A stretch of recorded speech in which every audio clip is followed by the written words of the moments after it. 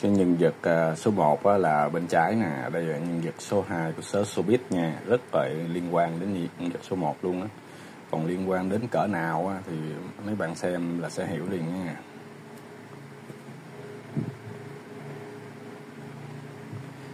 Rất là liên quan luôn bắt đầu vẽ luôn.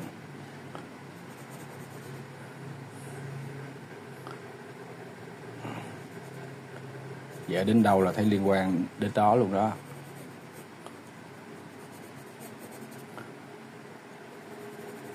Ráng coi hết video nhanh lắm mấy bạn ơi. Nhớ cho mình một à, subscribe nha mấy bạn. Giới thiệu kênh mình đến những bạn quan tâm tới mỹ thuật tới vẽ. Tại vì kênh mình à, làm nhiều cái bài à, hướng dẫn vẽ lắm. Đó mấy bạn thấy không? Dựng hình đàng hoàng. Nhân vật này là được mình dựng hình đàng hoàng, hình như là gương mặt hơi góc cạnh.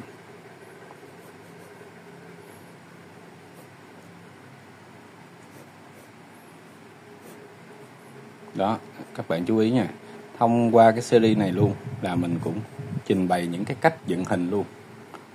Cách dựng hình khi vẽ luôn nha. Để cho những cái bạn, những cái em, những cái bạn nào mà thi mỹ thuật kiến trúc gì đó cũng có thể tham khảo luôn chứ không phải chỉ đơn thuần là giải trí. Cái kênh mình là để uh, hướng dẫn mỹ thuật là một cái cầu nối để các tất cả chúng ta tiếp cận mỹ thuật và hiểu về cái đẹp một cách dễ dàng nhất. Và nhớ nó hiểu là chuyện nhưng mà nhớ nó và áp dụng nó theo phong cách của riêng mình.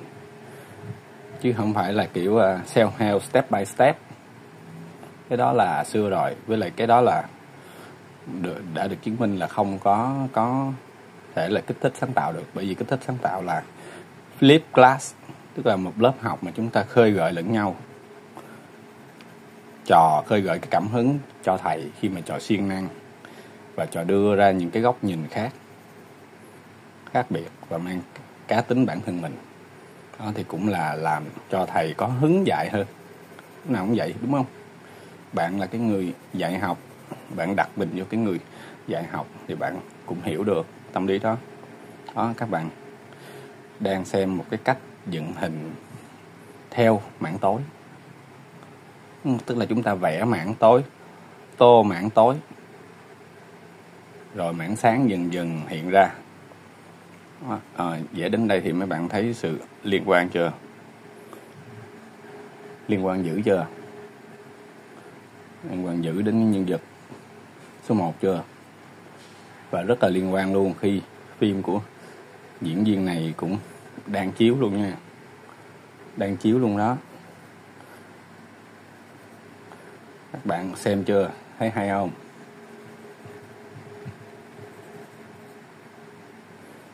Nói chung ở đời giờ mình không biết đúng sai. Nhưng mà có điều là có này luôn đúng, đó là không có ai hoàn hảo hết.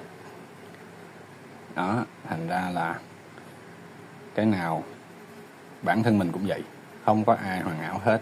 Các bạn ơi, cho nên là cái sự à, thông cảm vị tha là nó quan trọng lắm. Bởi vì khi gặp chuyện ai cũng cần cái động viên hết. Đúng không?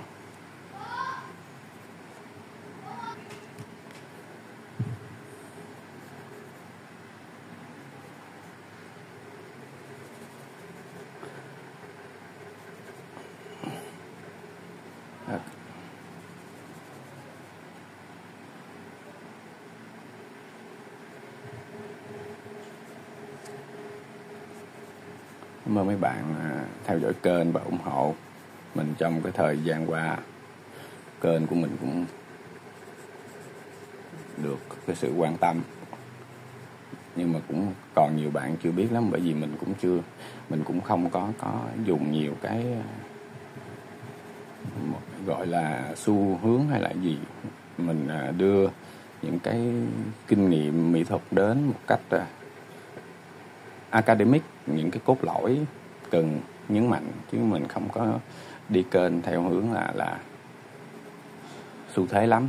Nên là mong những bạn nào là muốn ờ, học vẽ một cách ok, một cách ờ, academic á, ví dụ học thạc sĩ rồi đó, có thể theo dõi kênh của mình luôn để các bạn vẽ đẹp được, mai mốt quay lại kêu thầy cũng được, hoặc là mấy bạn mai mốt, cái đó nó giỡn. Chủ yếu là để mấy bạn mai mốt đi dạy cũng được nữa. Hoặc là những bạn trẻ mở cái kênh vẽ đó, cũng được luôn, bởi vì nó là xu hướng. Mấy bạn không có làm được một cái kênh vẽ. Nếu bạn làm nghề vẽ mà không có làm cái kênh vẽ là một cái sự gì đó mà trong tương lai là các bạn có chừng là mệt mệt lắm. Nói theo đúng cái giọng điệu của cái diễn viên đang vẽ luôn coi chừng đó nha mệt lắm mong các bạn ủng hộ kênh cho mình một subscribe nha, để mình có cái động lực. Đối với một họa sĩ thì cái sự cổ vũ nó là cái nguồn động lực lớn lắm. Hồi vẽ đến đây, không biết có bạn nào đoán được chưa? Chắc là đoán được hết trơn rồi. Hết bí mật rồi. Cái này là trong phim luôn tạo hình trong phim luôn đó nha. Thôi, đừng có làm quá nó ấy. Thôi, cảm ơn mấy bạn đã theo dõi kênh nha. Nhớ subscribe mình nha.